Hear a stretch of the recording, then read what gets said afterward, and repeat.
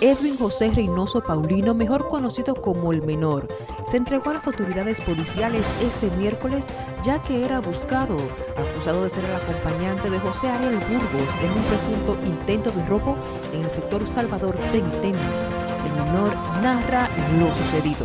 Entiendo con mi hermano y unos amigos y fue a buscarme como a las 12 por ahí con un romo llegó y me dijo, ¿qué lo que, hermano? Y un trago ahí, me, me dio un trago de una vez y me dijo, pues casi cumpleaños, el otro día sábado yo cumplía años y me dijo, vamos de una vuelta por aquí, por el barrio, salimos de una vuelta por el barrio, hasta que llegamos a esa esquina y me dijo, párate aquí, déjame orinar.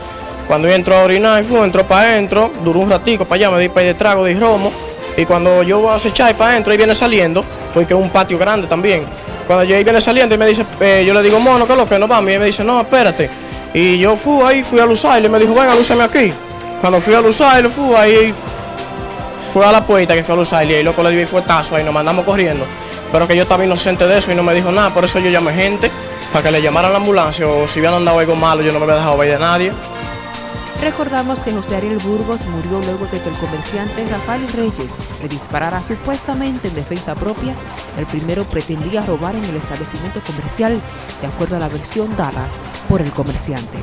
Giovanni Cordero, NTN, su noticiero regional.